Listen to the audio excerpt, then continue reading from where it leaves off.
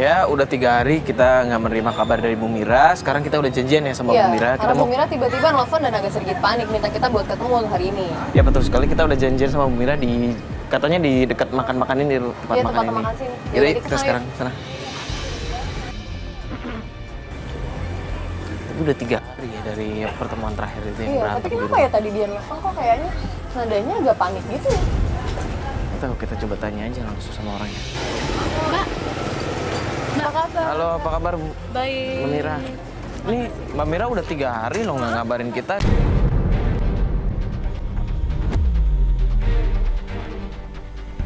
Gimana Bu? Ih, Bimo udah pulang tapi pergi lagi. Sampai sekarang juga belum pulang lagi. Pergi lagi? Iya. Astagfirullahaladzim. Makanya saya Duduk dulu aja Bu, duduk dulu aja. Makanya Ibu gimana tadi? Aduh, takutnya nanti apa? Kayak dia belum pulang sampai sekarang.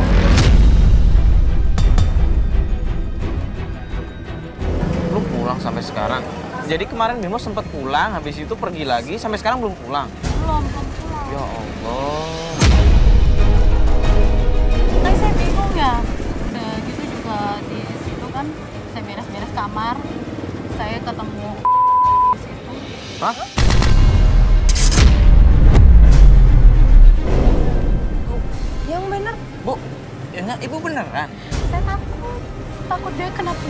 Bebas. Dia sebenarnya anak-anak yang baik. Astagfirullahaladzim, tapi beneran Ibu nemuin itu? Saya nemuin. Astagfirullahaladzim. Ah, bentar, Ibu tadi bilang kalau Bimo pergi kan, keluar lagi. Ibu tahu nggak Bimo pergi ke mana? Saya nggak tahu ke mana.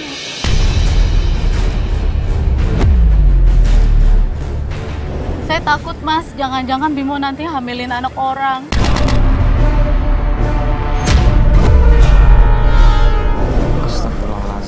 Berpikiran seperti itu dulu jangan suzon. Saya bukannya suzon. Saya takut aja. Ah, gini Bu, jadi kemarin tiga hari Bu nggak ngabarin kita kan? Kita udah coba nyebar tim buat menyelidiki Bimo.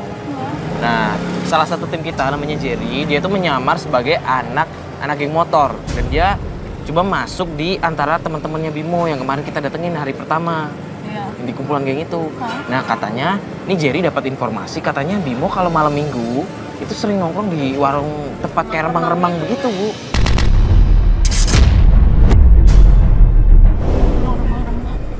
Iya, di tempat remang-remang kalau malam Minggu. Sekarang kan malam Minggu nih. Apa kita ke sana ya? Ya itu, Coba. di- itu dia bu, justru itu makanya karena ini malam minggu saya sama tim juga, ya kita sama tim juga ngajak ibu ke kafe itu biar lihat aktivitas Bimo di sana kayak gimana. Yaudah mbak, kita ke sana aja. Ya udah kalau begitu ayo ayo. Ya udah yuk sekarang kita ke sana aja. Yuk.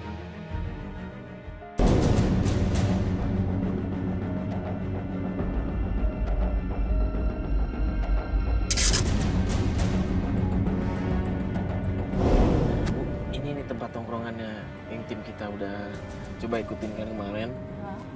Ternyata bener ya rame ya malam minggu di sini. Itu tempat tongkrongannya dia. Iya ini. Itu bukannya motornya Bimo kan Bu, Ibu lihat tuh. Bener kan itu motornya Bimo Oh iya kan? bener. Iya. Ya itu motornya Bimo itu. Berarti ada dia dong. Apa kita langsung keluar aja ya?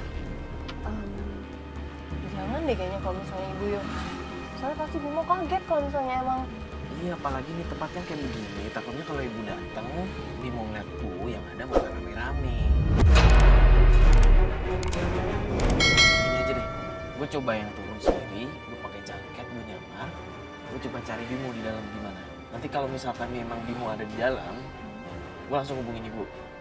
Biar ibu bisa. yakin lo bisa cari yo. Terakhir kita ketemu itu kan temennya ada yang ngeliat lo kan, yang waktu dia lari kabur itu. Gue bisa pakai kumpul nanti. Oh iya, gue bisa.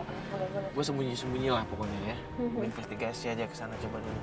Ya, gue di sini ya sama ibu ya. Gue tunggu sini ya nanti kalau misalkan nggak apa-apa gue kabarin. Hati mas. Iya. Bentar ya, gue turun dulu.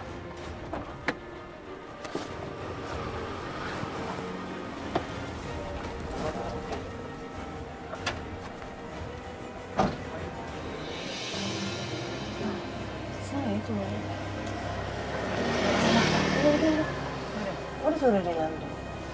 Tapi itu benar ya, itu motornya Bimo. Iya itu motornya. Saya tuh takutnya ada temennya dia yang waktu tempo hari kita sempat ketemu inget gak bu? Oh iya.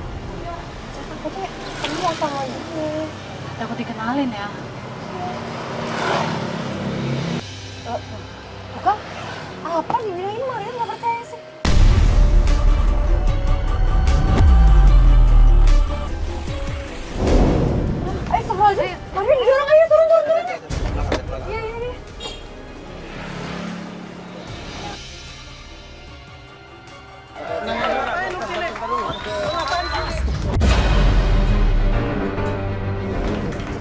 Bentar dulu, bentar dulu, bentar dulu. Ngapain sih, Le? Kemarin lu udah Eh bang, ngapain di sini lu?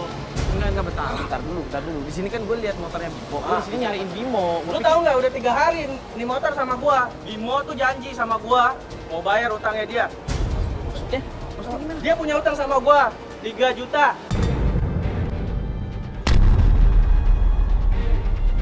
Dia bilang katanya tiga hari mau bayar. Sampai sekarang ini motornya sama gua. Maksudnya motornya digadein. Iya lah. Digadein 3 juta buat apaan? Gue yakin banget. Uang gadin motor pasti buat apa sih ceweknya si Bimo.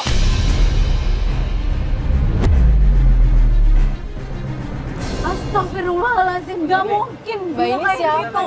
Gak, gak mungkin. Bener, Mbak. Dia baik-baik. Bener, gak mungkin. Enggak, bentar, bentar. Mbak, ini siapa apa sih? Dia tuh Itu dia si Bimo, Mbak.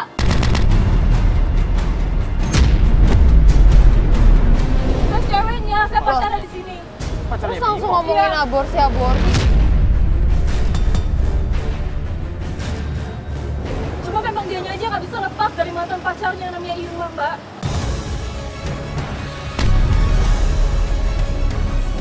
Gak mungkin adik, adik saya nggak seperti itu. Ini bener Mbak padanya. Mbak, Mbak tuh nggak ada buktinya jangan ngomong sembarangan apalagi nih aborsi aborsi gimana sih Ini Mbak? bener Mbak. Ini saya ngomong apa adanya Mbak.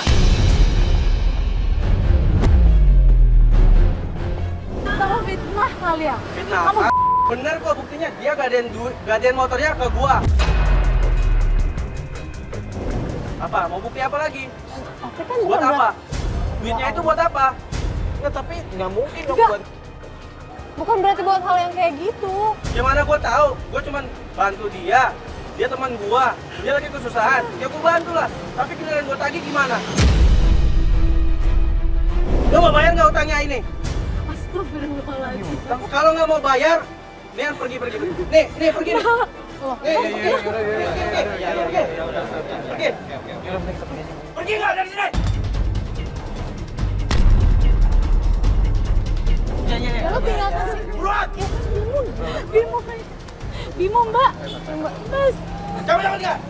Iya iya. Udah, udah. Balik, balik, balik.